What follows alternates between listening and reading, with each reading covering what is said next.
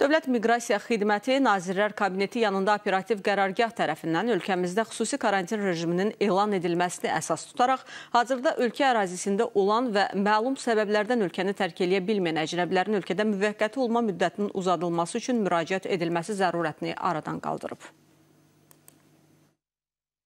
30 aprel tarixinədək ölkəmizdə olma müddəti bitən bütün əcnəbilərin müraciətləri miqrasiya xidməti tərəfindən qəbul edilmiş hesab olunur. Əcnəbilər yalnız elektron qaydada və ya ödəniş terminalı vasitəsilə dövlət rüsumunu ödəməklə müvafiq icazə qərarlarını əldə edə bilərlər. Bunun üçün əcnəbilər migration.gov.az saytına daxil olub, açılan pəncərədə burdan sözünü tıklayaraq pasportunun seriya nömrəsini, doğum tarixini və məxfi kodu yazaraq ödəniş nömrələrini öyrənməlidirlər. Ödənişləri isə hökumət ödəniş portalı, asan ödəniş sistemi vasitəsilə elektron qaydada və Express Pay terminalları vasitəsilə həyata keçirə bilərlər.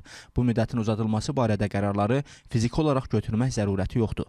Daha ətraflı məlumatı 24 saat fasiləsiz fəaliyyət göstərən 012 919 çağrı mərkəzindən də əldə etmək mümkündür. Elvin Əliyev, İTV xəbər.